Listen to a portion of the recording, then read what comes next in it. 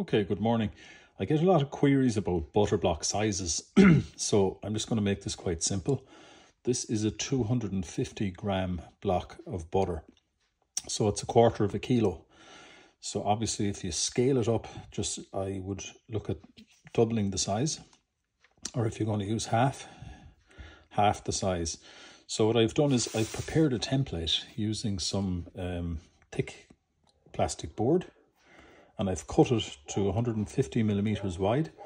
It's 230 millimeters long.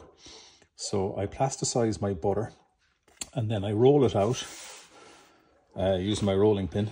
Uh, the thickness of the butter is six millimeters.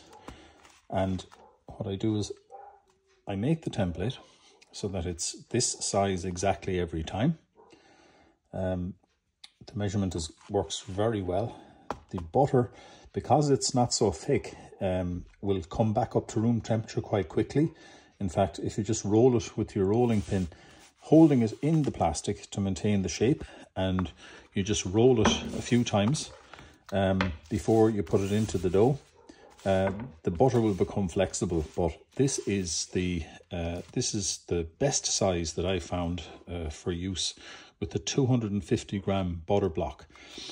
So I hope this helps. Uh, it's very easy to make if you just get some uh, plastic curry, board, I believe it's called, and you cut it out of this dimension.